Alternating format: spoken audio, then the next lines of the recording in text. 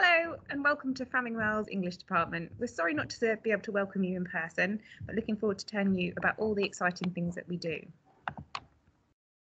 We teach mixed attainment from year 7 all the way through to year 11 and have real success with this. In year 7, your English lessons will be in your form groups, so it's a nice way of helping ease the transition from primary school.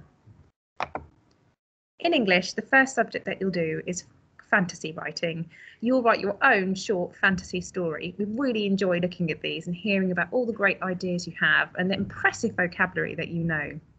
After that, we'll be reading an adventure book, a fantasy book, all about a girl uh, on a, an adventure. It's a book that we really enjoy teaching and the children really enjoy reading. Later on, we'll be looking at Shakespeare and about his life and what we know about him and the world that he lived in, and we'll study one of his plays.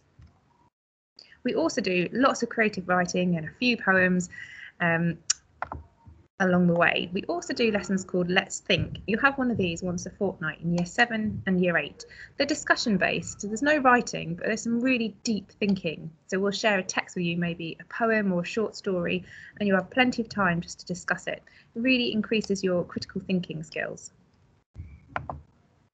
Once a fortnight, you'll go up to the library there, um, we've got bean bags and comfy chairs, and we'll curl up with our books for an hour. We also have audio books available and a huge range of new non-fiction books that we're really excited about showing you. We use the Accelerated Readers system at our school.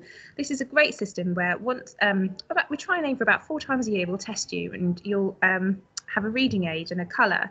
So say you come out as purple, when you go and choose your reading book, you have to choose one with the purple sticker on this system has really shown real success and we see students sometimes make up to two years progress in just what in their reading age in just one term. This year we had 32 millionaire readers. That means they've read a million words. If you want to find out more about what we're up to, then follow us over on Twitter at, at EnglishFEHS or just email us and let us know. We really look forward to meeting you. Um, and keep reading.